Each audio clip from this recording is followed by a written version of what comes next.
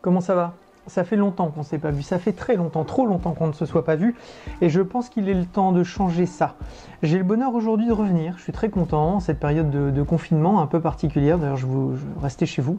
Euh, je suis moi aussi en confinement, vous pouvez le constater, c'est l'enfer. Euh, mais j'ai le bonheur aujourd'hui de vous parler de cette incroyable montre, qui est celle-ci. Tout simplement la pierre de roche Grand Cliff TNT Royal Retro, qui est absolument incroyable, complètement hypnotisante, qui est une pièce dont je suis amoureux depuis, on va dire, 11 ans. Ouais, je pense que j'ai été, moi, euh, visiter Pierre de Roche en 2011, et j'ai été chercher ma Pierre de Roche, hein, la Grand Cliff euh, Royal Retro, qui doit apparaître ici, voilà. Euh, montre superbe et celle-ci, bon voilà, juste absolument merveilleuse.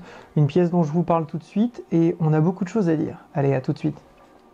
Alors voici la, donc la pierre de roche Royal Retro TNT euh, en 43. Donc le 43 est assez important pour cette pièce dans la mesure où c'est un, nouveau diamètre hein, qui est offert par la maison Pierre de Roche euh, à, cette, euh, à cette incroyable montre euh, qui est très très compliqué à capturer, à capturer en, vidéo.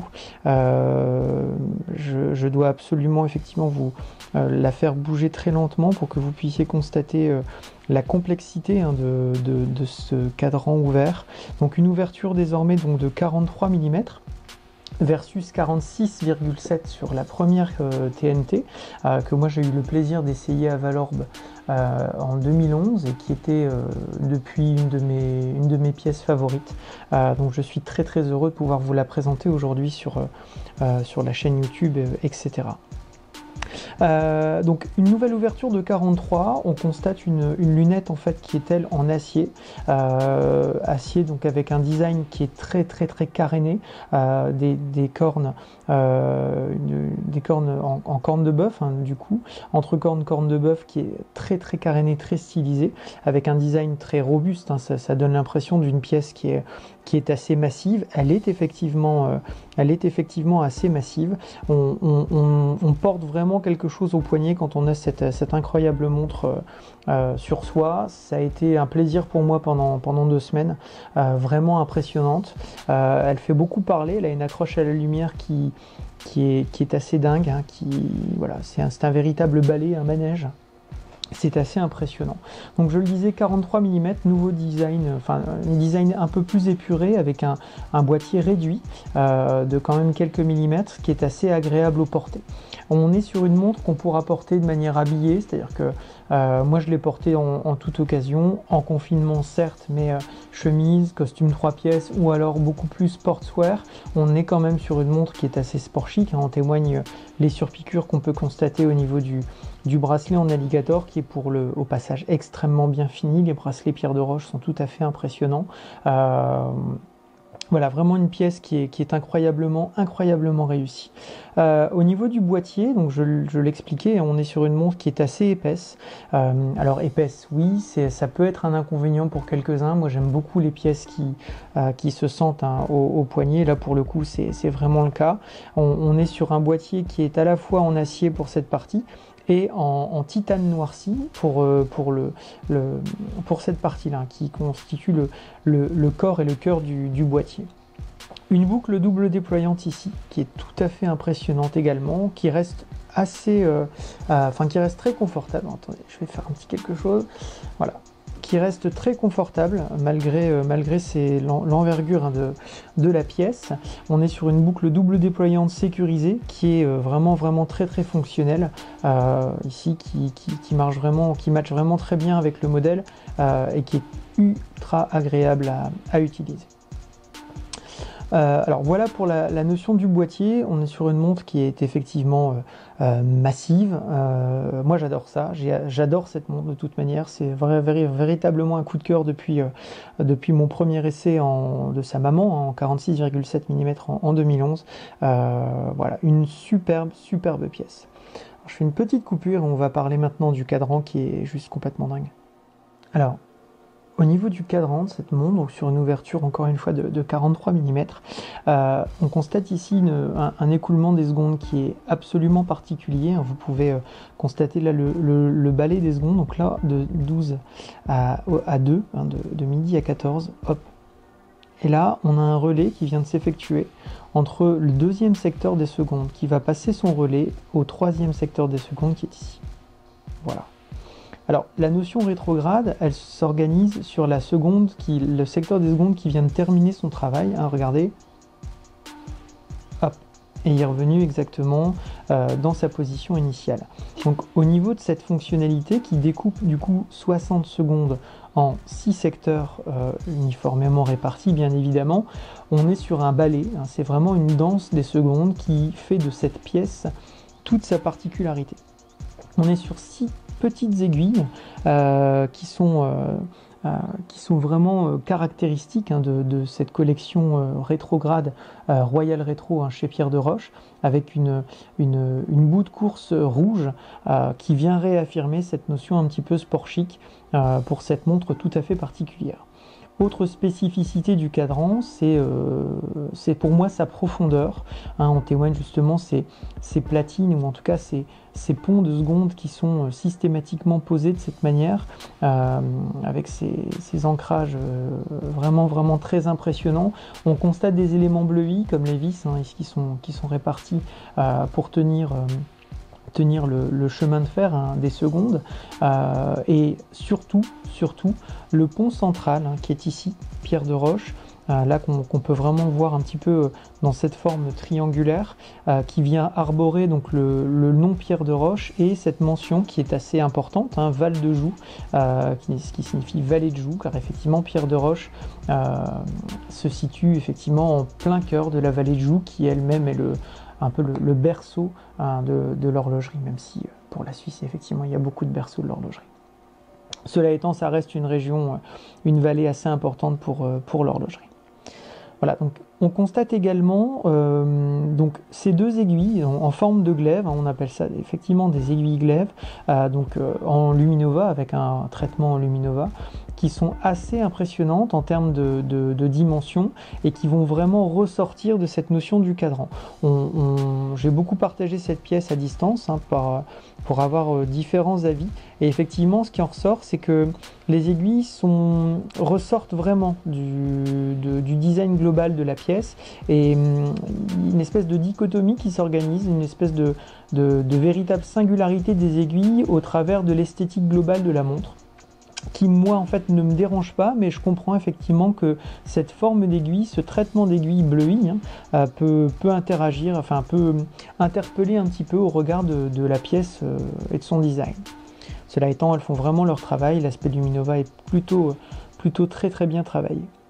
Alors, je parlais du pont central qui est ici, Pierre de Roche, qui lui-même en fait va tenir le pont euh, des six aiguilles hein, qui, sont, qui sont là, qui sont maintenues vous pouvez le voir. Alors, sur quelle partie vous pourriez le voir le plus précisément? J'essaie. Voilà. Ici, par exemple, dans, la pleine lumière, vous pouvez constater effectivement qu'il y a un pont des secondes qui est ici.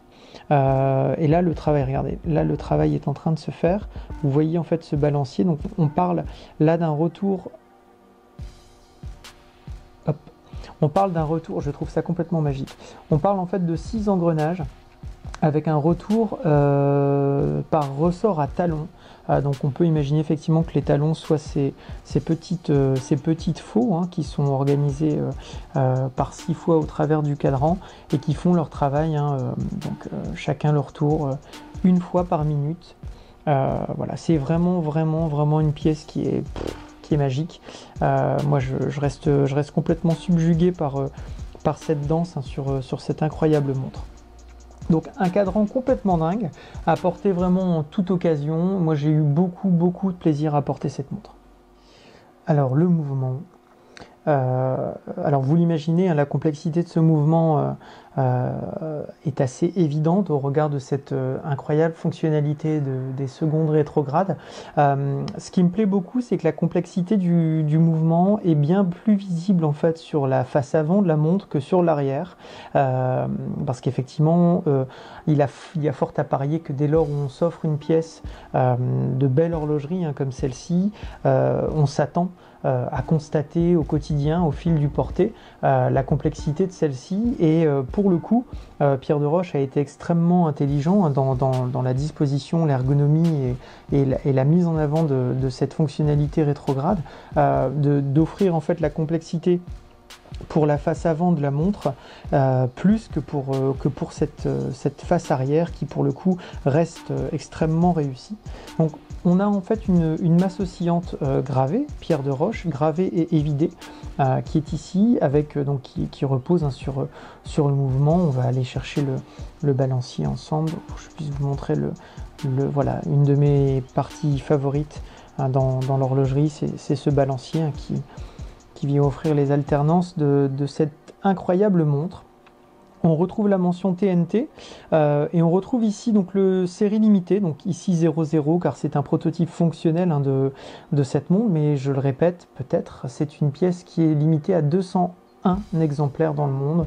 Donc on est sur une, rareté hein, de, l'horlogerie euh, et ça, vaut le coup de le préciser un bracelet, hein, je, vous le, remontre encore un petit peu, euh, pierre de roche avec euh, voilà, d'une manufacture qui est tout à fait particulière, euh, en l'occurrence très très bien réussi, qui fait vraiment vraiment vraiment bien le travail, un alligator surpiqué de, bleu, qui vient forcément rappeler le côté bleui des aiguilles et des vis qui se, euh, qui s'organise euh, de part et d'autre de, cet incroyable cadran. C'est vraiment, vraiment quelque chose que je pourrais regarder toute la journée et ça tombe bien, j'ai passé à peu près deux semaines à, le faire. J'ai beaucoup de chance. Alors, il y a quelque chose qui est impressionnant, euh, que je trouve vraiment très très mignon dans, cette montre.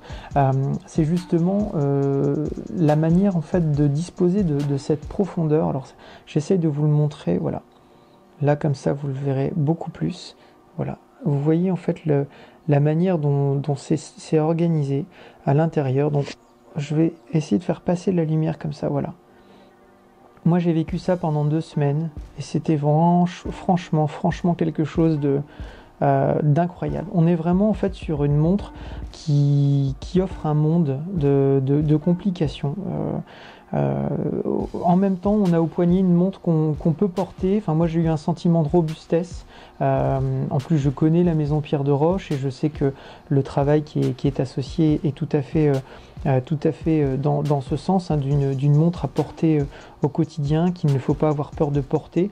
On reste sur de la très très belle horlogerie, en particulier pour cette pièce. Hein, on est sur de la haute horlogerie, je pense, dans la mesure où on a une complication qui est tout à fait particulière. Voilà. Une montre incroyable, euh, vraiment vraiment euh, agréable à porter, avec une, utilisation extrêmement simple. Au niveau des complications, vous l'avez deviné, hein, on est sur donc euh, heure euh, et puis minutes, bien évidemment, hein, c'est là tout, euh, tout, le travail qui est, qui est, effectué pour cette notion de minutes. Et on a un quantième ici, euh, donc, qui s'organise plutôt bien.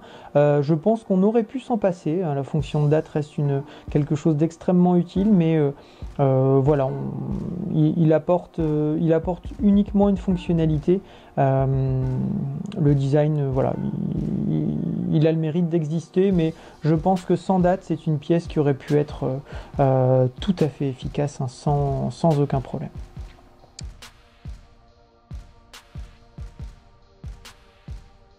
Alors voilà pour ce premier, euh, premier retour hein, de, mes revues. Euh, la bonne nouvelle, c'est que, au-delà de, de, cette revue, avec cette, incroyable Pierre de Roche, c'est que Pierre de Roche en fait a décidé de, donner encore un nouveau souffle euh, à, cette, collection, collection Royal Rétro en, lui offrant un design extrêmement sport chic qui est ici alors attendez, toujours, elle sera un peu plus facile à, attraper en vidéo, celle-ci. C'est la petite sœur, donc la, nouvelle Royal Retro, vraiment très sport chic, avec un cadran noir, euh, que je vais vous présenter dans une autre vidéo que je vais faire tout de suite. Mais voilà, très très très belle, très très belle pièce, et toujours avec cette incroyable incroyable fonctionnalité euh, des secondes rétrogrades. Alors je vais essayer de me cacher, c'est toujours pareil. La vidéo, voilà, elle est là, je vous en parle dans une autre vidéo, elle arrive tout de suite. J'ai été ravi de refaire cette vidéo. Abonnez-vous, je vous promets d'en faire d'autres. Il y en a notamment euh, une, troisième qui va arriver là sur, sur ces prochains jours. J'espère que ça vous a plu. à très vite.